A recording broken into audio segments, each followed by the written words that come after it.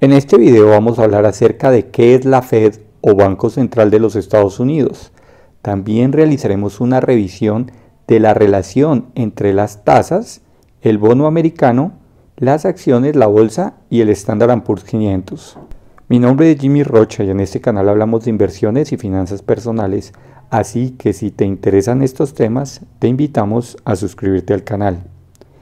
Para quienes seguimos los mercados de acciones y renta variable, recientemente buena parte del mercado ha estado atento a las decisiones de la Fed para determinar las tasas de interés. Vamos a tratar entonces de comprender cuál es la importancia de esa medida, cuál es el papel de la Fed y la relación entre las tasas, el mercado y los índices. La Fed o Banco Central de los Estados Unidos también se conoce como la Reserva Federal es una institución público-privada que reúne a 12 bancos centrales regionales que se encuentran en diferentes ciudades de los Estados Unidos. Su principal función es la de establecer la política monetaria de los Estados Unidos y la supervisión de los bancos de ese país. La Reserva Federal es la encargada de emitir el dinero para la economía norteamericana. Hay que recordar que el patrón oro fue abandonado y se reemplazó por el patrón fiduciario. El mecanismo de aumento o reducción de emisión del dinero por parte del establecimiento de los tipos o tasas de interés permiten intentar controlar el nivel de inflación de la economía de los Estados Unidos. Se busca que por medio de unas tasas más altas de interés se controle la inflación, debido a que se limita la cantidad de dinero en circulación para la compra de bienes y servicios como inmuebles, vehículos, bienes de consumo, entre otros. Es importante considerar que cuando se tiene un aumento de precios y la inflación de manera prolongada, el poder adquisitivo de las personas disminuye y la confianza en una moneda se puede perder. Es entonces la subida de las tasas de interés un mecanismo para controlar los aumentos de precio por encima de las metas propuestas. Por el contrario, si la economía se encuentra en recesión, es posible que mediante la reducción de los tipos de interés se incentive el consumo y la inversión para la reactivación económica. Miremos ahora la relación entre el aumento de tasas de interés, la bolsa y las acciones. El aumento de las tasas de interés incide de manera negativa en los mercados bursátiles debido principalmente a tres razones.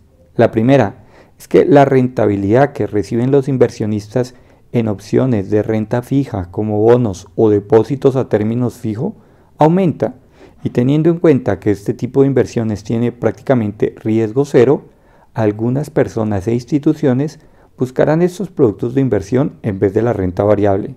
La segunda razón es que cuando se tienen altos tipos de interés, el consumo disminuye y esto afecta los resultados de las compañías, sus beneficios y las estimaciones de los precios objetivos de las acciones.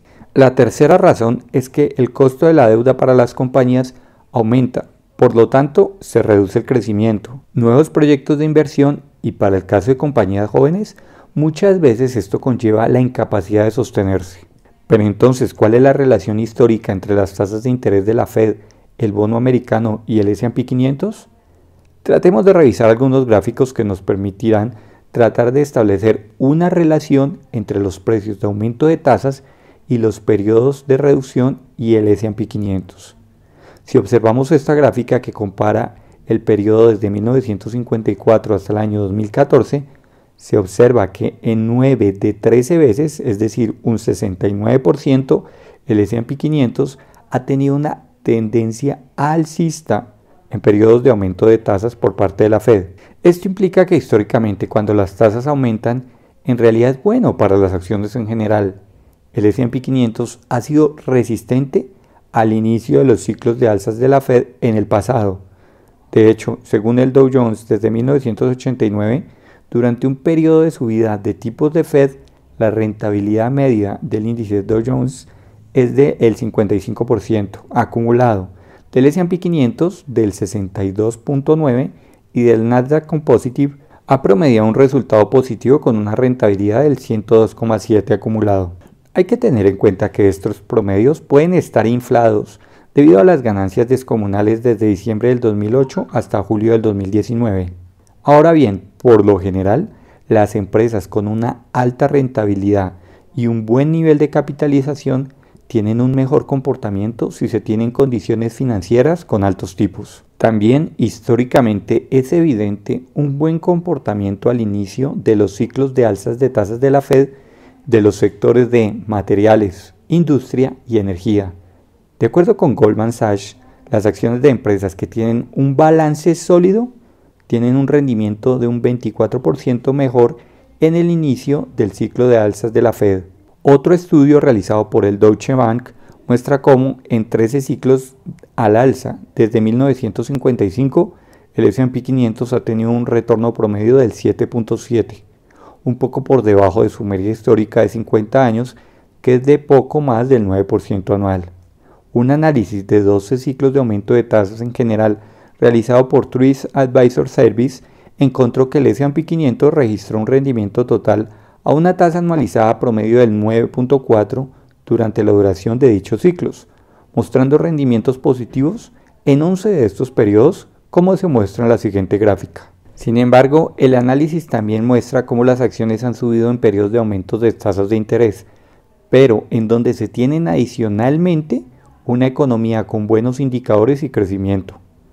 Ahora bien, otro análisis realizado por Nirmal Burja muestra cómo los periodos de aumento de tasas tienen una duración promedio de 21 meses. Y es claro cómo en el promedio la rentabilidad un año después del inicio de los ciclos de aumento es inferior a la rentabilidad promedio y se observa un mejor rendimiento al final del periodo. Como parte de las conclusiones de este análisis, se observa cómo cada ciclo de ajuste de tipos es diferente y no hay un ciclo exactamente igual tanto en duración como con la relación en el mercado de renta variable. Esta otra tabla muestra el rendimiento en periodos de aumento de tasas desde 1994 en los índices como el Dow Jones, que incluye compañías principalmente industriales. También se observa el S&P 500, que incluye las 500 empresas con mayor capitalización bursátil, y el Nasdaq, que reúne principalmente empresas del sector tecnológico. Se observa cómo el rendimiento es positivo, salvo en el periodo de 1999 al 2001, con una ventaja contrario a lo esperado para el Nasdaq 100. En esta tabla podemos ver la relación entre los ciclos de aumento o descenso de tasas y el cambio mensual del S&P 500. Vemos cómo en grandes disminuciones de tasa el S&P 500 promedió un aumento del 0.31 mensual, cuando la disminución ha sido moderada, el S&P 500 aumenta un 0.45 mensual y el elemento a tener en cuenta es que con un incremento moderado en las tasas, el S&P 500 aumentó un 1.82% promedio mes y para aumentos grandes en las tasas, el S&P 500 aumentó un 0.99. Esto muestra cómo no hay una relación del todo directa entre aumentos de tasas y bajos rendimientos del mercado. Esta otra tabla muestra la dispersión simple de la relación entre los cambios mensuales de los tipos de tasas y el rendimiento del S&P 500. Como se observa, no hay una relación clara y el efecto es más bien impredecible. Es interesante observar la relación entre el bono americano a 10 años y el índice S&P 500.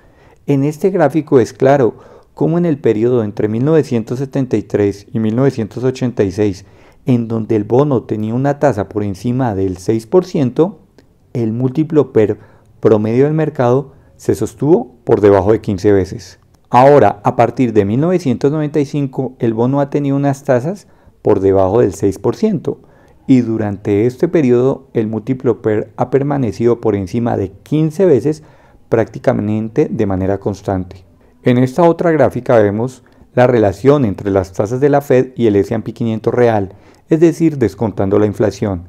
Se observa como en el periodo entre 1973 y 1985, en donde las tasas de la Fed estuvieran por encima del 6%, el S&P 500 mostró un rendimiento negativo. Ahora, si observamos la relación entre las tasas de la Fed y el S&P en los años recientes, es evidente que no necesariamente hay una relación inversa, pues por ejemplo entre los años 2016 y 2019 las tasas aumentaron y el índice también logró una valorización importante y constante. De igual forma, por ahora, a partir de octubre, el mercado ha tenido un rebote, aun cuando las tasas han seguido aumentando.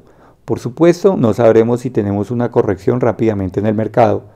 Pareciera que la conclusión es que si bien no se puede establecer una relación absoluta entre las tasas de la Fed y el mercado, o la rentabilidad del bono americano y el S&P 500, es evidente que cuando el bono ofrece unas tasas por encima del 6%, el mercado no está dispuesto a pagar un PER por encima de 15 veces. Por ahora, el consenso del mercado pareciera indicar que las tasas llegarán como máximo a un 5% para el segundo trimestre del 2023.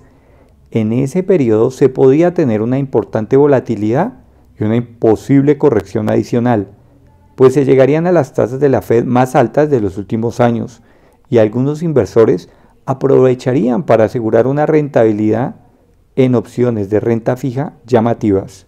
Por supuesto que es un tema que genera bastante debate y análisis, pues por ejemplo Ray Dalio afirmó que si los tipos alcanzan un máximo cercano al 4.5% el año que viene, podrían llevar a que los precios de las acciones cayeran en torno a un menos 20%. En la descripción del video puedes encontrar nuestro curso recomendado de inversión en bolsa y acciones para principiantes. No es un curso de trading, es una formación que busca que tomes tus propias decisiones de inversión basándose en análisis fundamental. Si te ha gustado el contenido de este video, regálanos un like y suscríbete al canal. Comenta, ¿te parece que para el 2023 los aumentos de tasa generarían una corrección importante del mercado? Ingresa a invertología.com para más información.